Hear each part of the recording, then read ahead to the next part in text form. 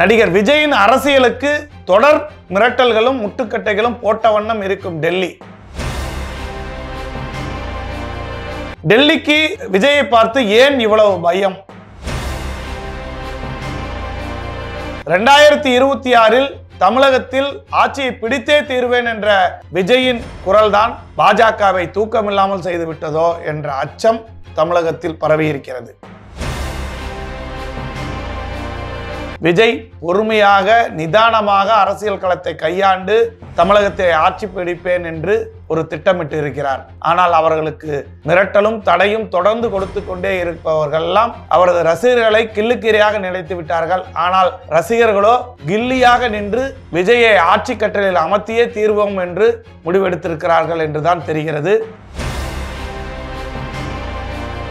விஜயை பார்த்து அரசியல் கட்சிகளுக்கு இவ்வளவு பயம் ஏன்? டெல்லி விஜயை தடுக்க போட்ட நிபந்தனைகள் என்னென்ன என்பது குறித்து இன்று விரிவாக பார்க்கலாம். பாருங்கள்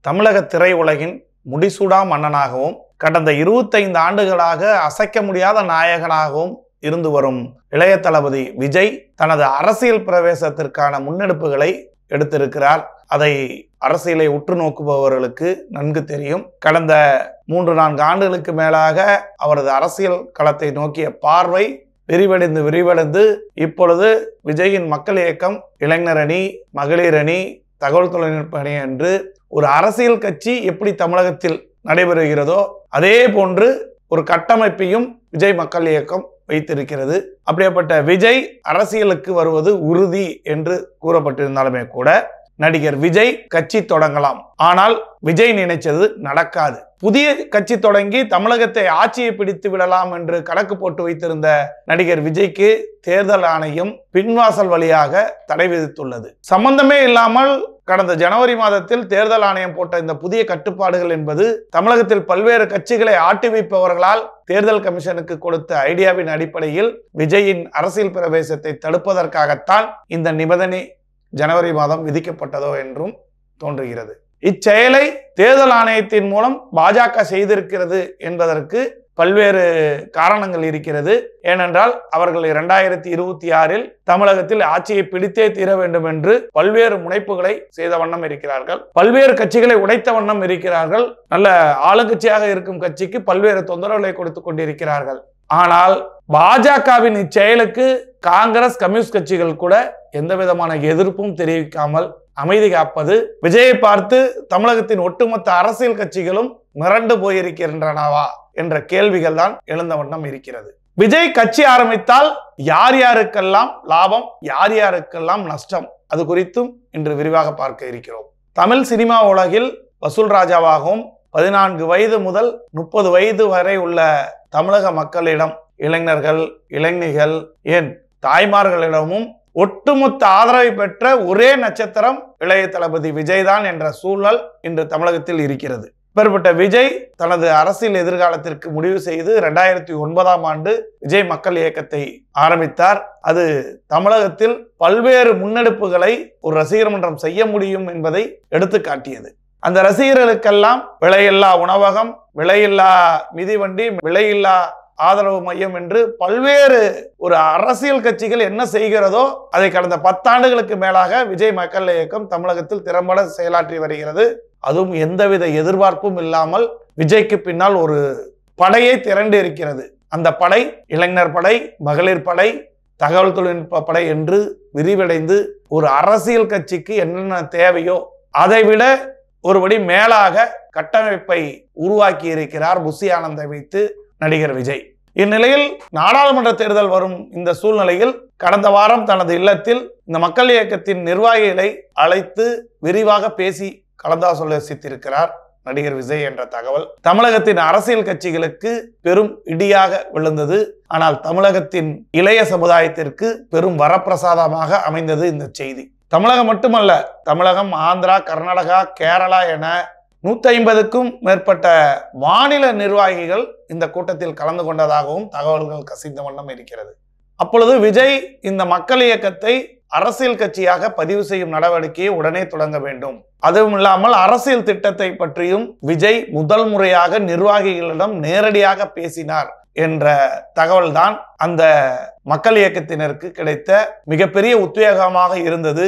அதைத் தொடர்ந்து விஜய்க்கு எதிராக செயல்படும் ஒரு கும்பல் அவரை ஆரம்பத்திலேயே முடக்கிவிட வேண்டும் என்று திட்டமிட்டு காய் நகர்த்து மேலையும் தொடங்கிவிட்டதாகத்தான் தகவல்கள் வந்த வண்ணம் இருக்கிறது. அங்கு வந்திருந்த மாநில நிர்வாகிகளிடம்லாம் இந்த தேர்தல் கமிஷனில் கட்சியை அங்கீகாரம் பெறுவதற்கு என்னென்ன நடவடிக்கை வேண்டுமோ அதன் முதல் கட்டமாக வந்திருந்தவர்களிடம் சட்ட நடவடிக்கைகளுக்கு கையெழுத்து வாங்கும் பணியை செய்திருக்கிறார்கள். அதிலும் குறிப்பாக இந்த புதிய கட்சிக்கு தலைவராக ஒருமனதாக நடிகர் விஜயை தேர்வு செய்ததாகவும் தகவல்கள் கூறுகிறது. இந்த புதிய கட்சிக்கு தமிழக முன்னேற்ற கழகம் தமிழக ஜனநாயக முன்னேற்ற முன்னணி மற்றும் விஜய் மக்கள் இயக்கம் விஜய் மக்கள் கழகம் என்றெல்லாம் பெயர்கள் சூட்டும் பணிக்கும் விவாதிக்கப்பட்டதாகவும் தகவல் வந்திருக்கிறது. மேலும் இவர்கள் எடுக்கும் வேகத்தை பார்த்துவிட்டு திரைமறைவில் இங்கிருந்து டெல்லிக்கு அனுப்பிய தகவல்களின் அடிப்படையில் ஜனவரி முதல் வாரத்தில் தேர்தல் கமிஷனில் சில நிபந்தனைகளையும் கட்டுப்பாடுகளையும் ஒட்டுமொத்தமாக அறிவித்திருக்கிறது. நடிகர் விஜயின் அரசியல் திட்டம் என்பது இரண்டாயிரத்தி இருபத்தி நாலு வரும் நாடாளுமன்ற தேர்தலில் போட்டியிடும் எண்ணம் அவருக்கு இல்லை. ஆனால் அவர் ஏதேனும் ஒரு கட்சிக்கு ஆதரவு தெரிவிக்க தயாராக இருப்பதாக தகவல் கசிந்தது. அப்படி அவர் ஆதரவு தெரிவித்தால் அது கண்டிப்பாக பாஜகவாக இருக்காது என்ற தகவலும் வந்த வண்ணம் இருப்பதனால் ஏனென்றால் திரைமறைவில் டெல்லி பாஜக நேரடியாகவும் மறைமுகமாகவும் விஜயை மிரட்டி வண்ணம் இருக்கிறது. இவர்கள் மிரட்ட மிரட்ட விஜயின் மக்கள் இயக்கம் மாபெரும் எழுச்சி அடைந்து கொண்டே இருக்கிறது. இதெல்லாம் பார்த்து விஜய் இங்கு இருக்கும் ஒரு க அரசியல் கட்சிக்கு ஆதரவு தெரிவித்தால் ஒட்டுமொத்தமாக தமிழக அரசியல் களம் என்பது இன்று இருக்கும் நிலை என்பது முற்றிலும் மாறுபட்டு இருக்கும் இடம் காணாமல் போகும் கட்சியின் வரிசையில் முதல் இடத்தில் பாஜக தான் இருக்கும் என்பதை தெள்ள தெளிவாக அறிந்து வைத்துதான் விஜயின் இந்த நடவடிக்கைகள்லாம் முட்டுக்கட்டை போடும் வேலையை இந்த விஜய்க்கு எதிர் முகாமில் இருப்பவர்கள் எல்லாம் செய்த வண்ணம் இருக்கிறார்கள். இந்த தேர்தலில் தான் இந்த நிலை என்றால் அடுத்து இரண்டாயிரத்தி இருபத்தி ஆறாம் தேர்தலில் கண்டிப்பாக சட்டமன்ற தொகுதியின் இருநூத்தி முப்பத்தி நாலு தொகுதிகளிலும் போட்டியிடுவது என்பதும் தமிழகத்தின் ஆட்சியை பிடித்தே தீர வேண்டும் என்றும் விஜய் கங்கணம் கட்டி கொண்டுதான் இந்த வேலையை இறங்கியிருக்கிறார். அதன் மூலம் என்ன எதிர்ப்பு வந்தாலும் என்ன பிரச்சனைகள் வந்தாலும் அதை சந்திக்க தான் தயார் என்பதை தான் இந்த கூட்டத்தில் அறிவித்திருப்பதாக தகவல்களும் வந்து இருக்கிறது. ஆனால் அதே இரண்டாயிரத்தி இருபத்தி ஆறு தேர்தல் என்பது தமிழகத்தில் பாஜக தாமரை மலரும் என்று அண்ணாமலையை வைத்து அண்ணாமலையும் அண்ணாமலை அன்கோவும் போட்டு வைத்திருக்கும் கணக்கை சுக்கு நூறாக்கி இருக்கிறது கடந்த வாரம் மக்கள் இயக்கத்தின் மூலம் விஜய் பேசிய பேச்சுக்கள். அப்படி ஒருவேளை விஜய் இருநூத்தி முப்பத்தி நாலு தொகுதியிலும் போட்டியிட்டால் ஒட்டுமொத்தமாக இருநூத்தி முப்பத்தி நாலு தொகுதிகளிலும் டெபாசிட் பறிபோகக்கூடிய கட்சியாகவும் பாஜக உருவெடுத்துவிடும் என்ற நிலையால் விஜயை டிப்ளமேட்டிக்காக லாக் செய்யும் வேலையை தந்திரமாக பாஜக செய்திருக்கிறது என்ற தகவல் தான் டெல்லியில் இருந்து வந்திருக்கிறது.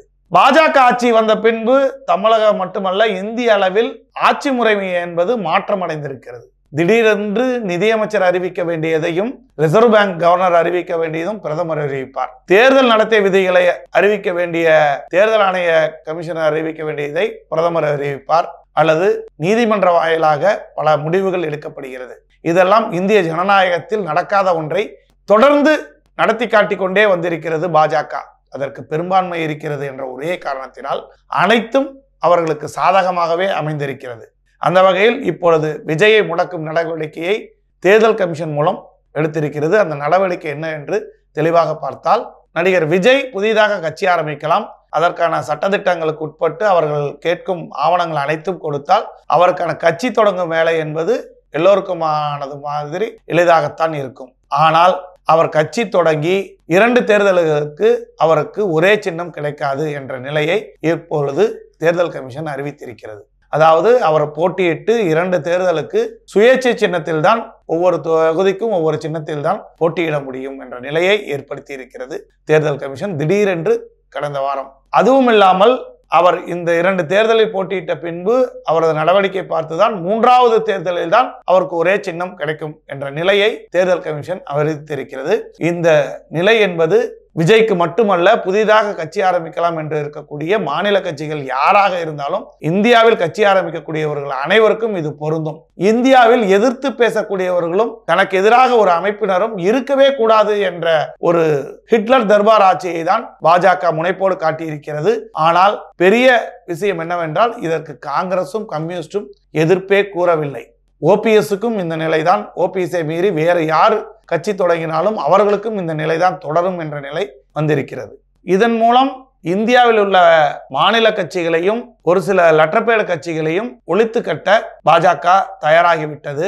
அதுவும் இல்லாமல் பாஜகவிலிருந்து பிரிந்து சென்று தனியாக கட்சி ஆரம்பித்து பாஜகவுக்கு தலைவலியாக மாறிக்கொண்டிருக்கும் நபர்களுக்கெல்லாம் இது ஒரு செக் வைத்த நிலையை தான் ஏற்படுத்தி இருக்கிறது இந்த தேர்தல் ஆணையத்தின் புதிய நிபந்தனையால் நடிகர் விஜய் அரசியல் கட்சி ஆரம்பித்து அரசியல் பிரவேசம் மேற்கொண்டாலுமே கூட இரண்டாயிரத்தி இருபத்தி ஆறாம் ஆண்டு சட்டமன்ற தேர்தலில் போட்டியிட்டும் சுயேட்சையாக அனைத்து தொகுதியிலும் போட்டியிட்டும் ரெண்டாயிரத்தி பத்தொன்பதாம் ஆண்டு நாடாளுமன்ற தேர்தலிலும் சுயேட்சையாக போட்டியிட்டு அரசியல் களத்தில் ஏழு ஆண்டுகள் நீடித்திருந்தால் மட்டுமே ஏழாம் ஆண்டில் வரக்கூடிய ரெண்டாயிரத்தி முப்பத்தி ஒன்றாம் ஆண்டு நடக்கக்கூடிய தமிழக சட்டமன்ற தேர்தலில் போட்டியிட்டு வெற்றி பெற்று ஆட்சி அமைக்க முடியும் என்ற ஒரு நிலையை தேர்தல் கமிஷன் ஏற்படுத்தி இருக்கிறது இது விஜய்க்கு பேர் இடியாக இருந்தாலுமே கூட அடுத்து தங்களால் ஆட்சியை கைப்பற்றிவிட முடியும் என்று பல்வேறு சித்து விளையாட்டுகளில் ஈடுபட்டிருக்கும் பாஜகவுக்கும் இது ஒரு கிளியாகத்தான் இருக்கிறது.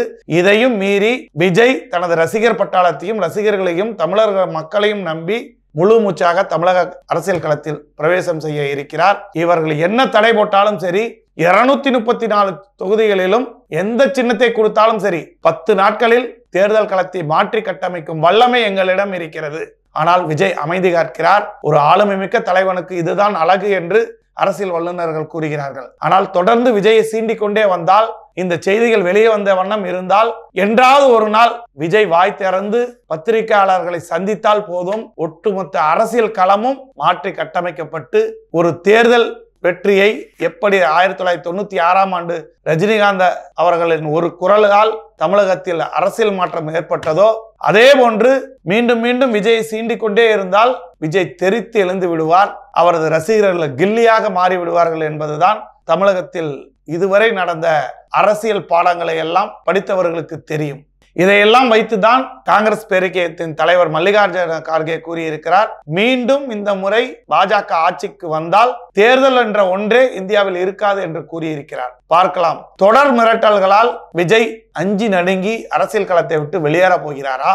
அல்லது கில்லியாக ரசிகர் பண்டாளத்தை வைத்துக் கொண்டு எதிரிகளை துவாம்சம் செய்து ஆளப்போகும் தமிழனாக உருவெடுக்கப் போகிறாரா என்பதை பொறுத்திருந்து பார்க்கலாம். அதுவரை காத்திருப்போம். பாருங்கள்